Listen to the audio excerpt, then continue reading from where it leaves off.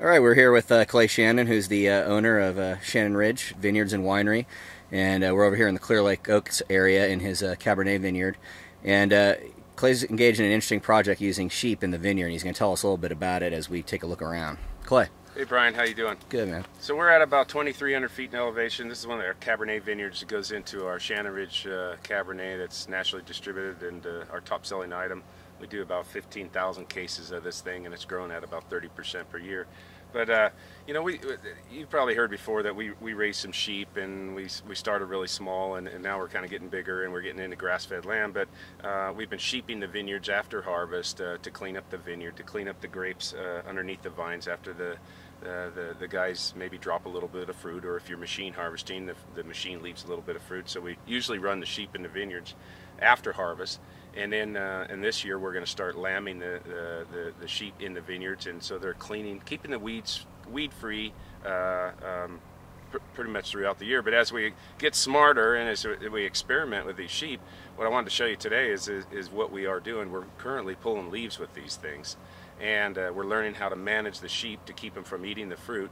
And uh, what, the, what you're looking at here is a Cabernet vineyard that has not been leaf pulled at all. Uh, it's kind of on the vigorous side this year and due to some late rains and uh, some deep soils, late rains, and, and not extremely hot. Um, East-west rows usually uh, burn up a little bit more or more, less water, so they're a little bit more vigorous than our north-south rows. But you can see, I don't know if you can see here, but the canopy is very dense this year. And if you start opening up the canopy in the fruit zone, right in here, you'll see some yellow leaves, and those are signs of, of, of you know potential negative quality potential shading, or for sure shading, and we don't want that. Uh, what we're going to do is dro drop a, uh, run across the avenue here, and we're going to show you what the sheep are doing. When we bring in the, uh, uh, we do this with hand crews also, but there's a lack of labor in California. We, we've all been reading and hearing about that, but you know, to hand leaf, which we'll show you later, is probably 250 to 300 bucks an acre when you add supervision, manpower, water, shade, all these things we have to do. 250 bucks, 300 bucks an acre to really do a good job of, of leafing. When we take the sheeping thing over here, which is across, uh, we're spending probably $30, $20 an acre, and frankly, I think they're doing a better job. Let's go have a look. Check it out. Okay, Brian, so hey, we just crossed the avenue. You can see over there. I mean, we just moved 50 feet. Here's a block that was sheeped here last night um, and you could see yellow leaves, okay? Well, the reason why you're seeing yellow leaves is because the dark green large basal leaves have been removed from the outside of the canopy and now we're looking on the inside of the canopy and guess what we see hanging here? Fruit. That means the, the sheep have exposed this to the sunlight. Um, it's not the cleanest job in the world. You'll go in certain areas, you'll find a much cleaner job, but the key here is yellow leaves. It's not what you want to see but uh, it is what you want to see after you've uh, pulled the external leaves because these some of these will green back up again and then all of a sudden we've exposed all this fruit. We can see the other row. We can see the dirt through the other side. That means our canopy is open. And uh, and now we I think we can grow some great fruit with uh, non-veggie herbal uh, we want a little bit of herbal in the Cabernet but non-veggie Cabernet characters. Um, again I think there's a 20 or 30 dollar an acre uh, pass. Uh, the sheep start and they eat all the little suckers that are regrown. Then we prune them off later. They eat these these young regrown shoots that we really shouldn't have there. But this year again, we've had a lot of extra vigor, and uh, due to the late rains.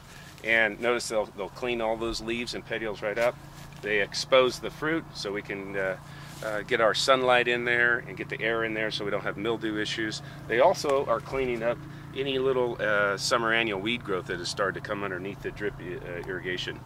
Um, right now we're running about 75 to 100 uh, sheep per acre on this, 8 foot rows, east-west rows. Um, we're trying to fine tune exactly what we're doing as far as how many sheep per acre and how much time. And um, we are running at about a 24 hours. So we, so let's say we put 100 sheep per acre, we got 300 sheep on this block, so we have three acres, and in 24 hours or a little bit less, that is completed leafing, just like this. Some some vines a little cleaner than others, some not as, as but it's opening up, bottom line, opening up the fruit zone. The sheep run up and down the rows. they uh, uh, are, are, cleaning up the basal leaves. The basal leaves must be fresh and full of sugar. Uh, the reason is because they, they, they wag their little tails when they're when they're eating this stuff. So it's got to be good good uh, uh, uh, pro, um, good food for them, and they're going to gain weight on that. Also, the lambs will. Um, but what's really interesting, you know, on a north-south row and on an east-west row, you really want to pull leaves on the cool side of the vine. And what's totally interesting, that's where the sheep hang out. And uh, they, you know, just in another hour or two, the sun will be up and all of a sudden this will start getting shaded over here. So the sheep will work the north side of this vine because it's in the shade the majority part of the day. Um, more than the south side, which is exactly how we would normally pull leaves. And it's just, it's unbelievable. It's automatic. It's just very cool. So what, why don't we go take a look at some sheep, and then we'll look and show you where we've done some hand leafing. You tell me. You make the you make the call. Sounds good. Okay, Clay, tell us where we are now. Hey, Brian. Um, so we're, we're on the Augulin Vineyard, and this is uh, uh, again goes back into our Shannon Ridge uh, um, Cabernet program, north-south rows, and this is where we've hand leafed. So what you do see um, is you know the, the the dry leaves or the drying leaves on the ground. You see the fruit zone and uh, we didn't go very high on here because we're a little bit more concerned about sunburn so we, we kind of leave a little umbrella underneath the fruit but uh, again this is 200 250 bucks an acre probably here when we go a little higher 250 to 300 dollars an acre in cost um, the leaves are in a form that they're not necessarily I mean it, it's uh, um, it's it's garbage on it, or it's not garbage, but it, it's not necessarily edible or, or, available to the plants. And you know where the sheep will eat that leaf, digest it, um, poop it out, and it becomes, you know, immediately, um, as soon as we get some rain, um, a, a, a, portion of the fertility that we're using. But you could see, um, you know, the, the guys that are leafing, guys and gals that are leafing are just, again, in this fruit zone, a little bit lower leafing. We call this a lower leafing. But the cost difference is huge. Also, you'll notice there's a few grapes on the ground. We knock a few grapes on the ground when we're doing it by hand. If you go look at the sheep, they knock a few grapes on the ground. um, we think that we're getting maybe a little bit better, um, kind of a dirtier type of leafing, which is what we want. We don't want it clean um, uh, with the sheep. Some areas are a little bit better, some a little uh, not. But there's, if you can see, you saw more fruit over where the sheep were, and uh, uh than we're seeing right here for a heck of a lot less cost. Great. Okay, here we are. This is Raul. And this is Charlie. Charlie's a livestock guard dog in training. We got another uh, dog out here. Her name is uh, Rose, ¿verdad? Está aquí? Sí. Yeah, Rose is out here also. So we run uh, livestock guard dogs. This prevents us from, or prevents the need of hunting coyotes, trapping coyotes, and, and doing all, and bears. Uh, so what we do is we run these dogs with uh, about one dog to two dogs to, for 300 head of sheep. We use electric fencing, mesh fencing, and so we don't have coyote problems. Uh, we don't have bear problems, and we keep these dogs and we run them with the sheep. But what Raul's doing here, he's the herder, and he basically moves these sheep, uh, you know, when they're resting in the heat of the day, leaves them alone. But when they start to congregate in a certain area in the vineyard, they'll actually start to do some damage and eat some fruit, and we don't want that. So he kind of just, you know, maybe throws a pebble behind them or moves his hands or whatever, and, and just he gets them moving. He keep the key is keep the sheep eating fresh food, fresh leaves. We just moved him to this area this morning, and uh, he's setting up the water here. That's that's a problem. I mean, so we got to have a water tank, and we have some water here. And uh, um, Charlie, um, who has a dirty nose, has been inside these water things all day, uh, these water troughs all morning. And uh, uh, what this is, we just put the sheep in here about 6 a.m. and you can see the first pass. We're gonna go look. They're on the top of the hill there. The first pass, they just kind of eat the suckers and the regrowth, and then they start getting their feel for the block and, and, move, and just munching away, munching away the, the woolly compost machines. Let's go check them out.